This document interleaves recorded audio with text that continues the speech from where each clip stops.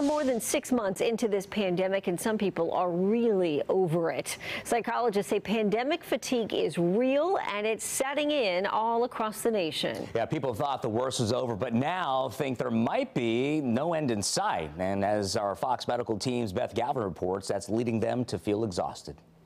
I think many, many people are really struggling right now. For years, Emory School of Medicine and Grady psychologist Dr. Nadine Kaslow has talked us through one crisis after another.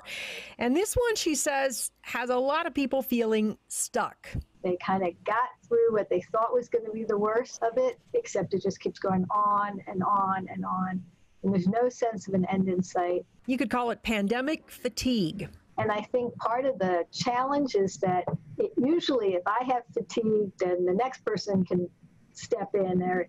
And when they get fatigued, maybe I can step back in, but now everybody's fatigued. And Dr. Kaslow says the most important thing that you can do right now is find ways to pace yourself. And I know so many parents, especially moms right now, are saying, I'm getting lost in all this. Between doing my job and taking care of family responsibilities and schooling my children, there is no me time. So the most important things are to love your children and to take care of yourself and your family kids will learn, they will do okay, they will they will manage socially. Children are so resilient. You can build up your own resilience, she says, by seeking out things you enjoy, even if you can only do them for 15 minutes a day, like taking a walk. Sometimes when we feel really tired, we just sort of sit like couch potatoes. But the truth is, if we move, if we get out and about, out in the world with nature, just moving can actually help us feel less tired not more tired. If you're anxious, mindfulness apps can help you relax, she says. And a new study shows that yoga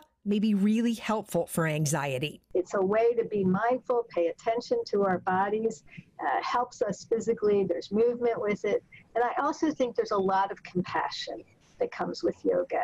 And I do really believe right now for all of us to be compassionate toward ourselves accepting of ourselves and compassionate toward other people. That's going to really help us get through the long haul.